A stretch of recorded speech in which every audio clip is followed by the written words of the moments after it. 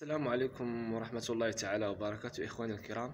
في هذا الفيديو إن شاء الله نتكلم على الدليل البيداغوجي الذي صار صدر سنة 2009 أصدرت الوزارة سنة 2009 هذا الدليل مقسم الأب... مجموعة من الأبواب أربعة ديال الأبواب. الأبواب الثلاثة الأولى هي اللي مهمة. أما الباب الرابع اللي كيتعلق بمنهاج الوحدات الدراسية والديداكتيك ديال المواد في السلك الابتدائي فوقعت عليه مجموعة من التغيرات. يعني بلا ما نركزوا عليه علاش؟ لأنه وقعت فيه بزاف ديال التغيرات. من وراء هذا الدليل جات المن... جا المنهاج المنقح ديال المستويات السلك الابتدائي. يعني تغيرت بزاف ديال الأشياء لا الغلاف الزمني لا حتى أسماء بعض المواد تغيرت.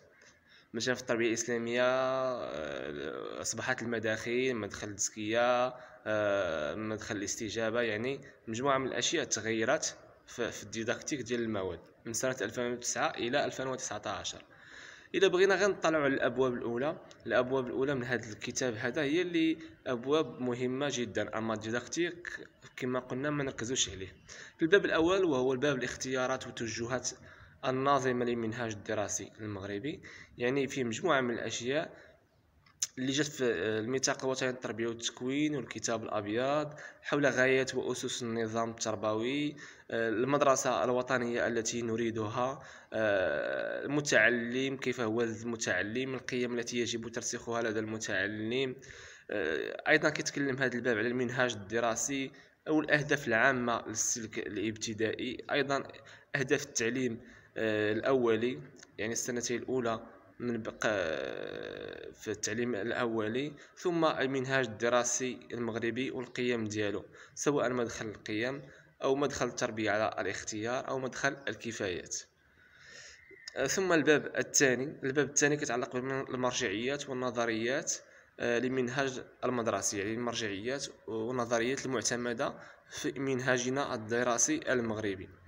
فهناك مجموعة من النظريات التي تم الاعتماد عليها في في المنهاج المدرسي المغربي. وأيضا مجموعة من البيداغوجيات وهي أيضا تم الاعتماد عليها في هذا الكتاب أو في المنهاج الدراسي. ثم آه، هناك أيضا الباب الثالث اللي كيتعلق بالديداكتيك يعني التعريف ديال الديداكتيك. آه، انواع ديال الديداكتيك كيتكلم على التقويم كيتكلم على التخطيط. يعني باب أيضا هو مفيد جدا فيما هو ديداكتيكي. يعني غادي نخلي لكم إن شاء الله أه واحد الرابط اللي بغى يقوم بالتنزيل تاع الكتاب هذا.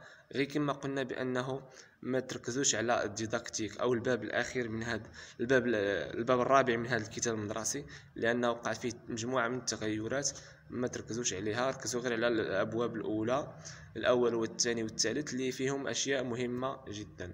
وكنتمنى منكم أنكم ما تبخلوش على التعليقات ديالكم. وتبارطاجيو هذا الفيديو مع الأصدقاء ديالكم للاستفادة إن شاء الله وشكرا جزيلا.